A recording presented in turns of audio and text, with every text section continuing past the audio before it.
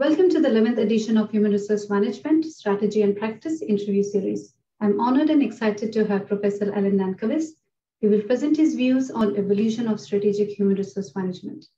Professor Alan Nankervis has worked as a HRM academic at three Australian universities and at several international universities. He has taught many HRM courses, conducted research projects across Australia and in Asia, and they authored more than 150 books book chapters, journal articles, and conference papers. Thank you, Dr. Nankervis, for this interview. May thank I begin you. this? Thank you. May I begin this interview by asking the question, how Industry 4.0 will shape the evolution of human resource management? Okay, uh, thank you for the question, Anjali. It's probably the most important question that HR faces across the world because Industry 4.0, or sometimes called the fourth industrial revolution, is a combination of artificial intelligence, machine learning, and robotics technologies, which are going to change many, many jobs and many, many of the associated skills of those jobs, particularly in areas like um, the retail sector. For example, Coles and Woolworths are now using robots for cleaning and for stacking in warehouses and possibly for customer service later on. And in in the health area where um, robots are doing diagnostics, medical diagnostics, and also treatment and surgery, and in education, of course, and many other sectors. So all of those combined technologies are going to change the, the shape of the modern organization and the workplace.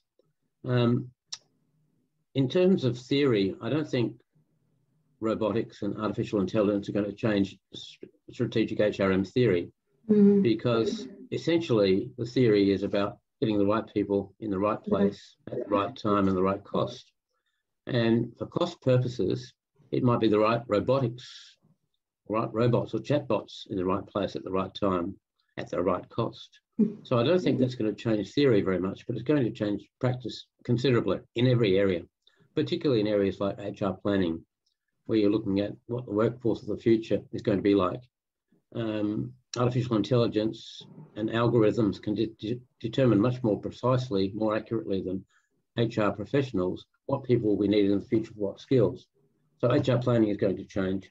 Job design is going to change. And it's not just a consequence of artificial intelligence, but also a confluence of artificial intelligence and COVID-19. COVID-19 has changed the way we work and where we work. Mm-hmm. So workplaces will be different kinds of places in the future with different kinds of employees and different kinds of skills. excuse me, it'll also change recruitment and selection in terms of the job criteria and how, how applicants are sourced and how they're selected because chatbots can do much of the selection process themselves. It also changed performance management, already has, mm-hmm. because during the close down period, many people working from home had their performance managed by algorithms, or at least monitored by algorithms. And in, in association with that, things like remuneration what people are paid, how they're awarded will change as a consequence, not just of Industry 4.0, but also because of COVID 19 and another issue we'll talk about later on, which is multi generational workforces mm. with different generations, with different expectations of jobs.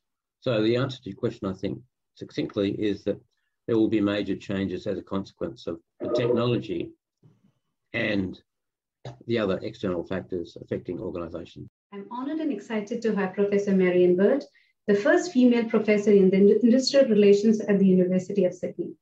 Marian is a preceding co-chancellor in the University of Sydney, head of the discipline of work and organizational studies, and co-director of the Women Work and Leadership Research Group. Professor Marian Baird will present her views on the context of strategic human resource management. Thank you so much for this interview, Marian. My pleasure. Thank you for having me here. You're most welcome.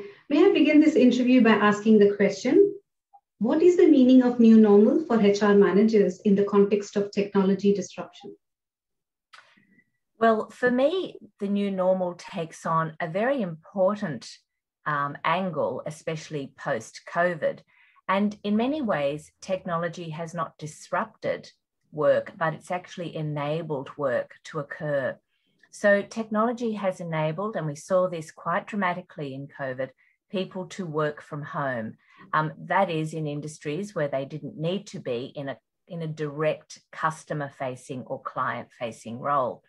So the technology that we have really enabled people to move their work from the office to the home. But that, of course, sets up a series of other HR challenges.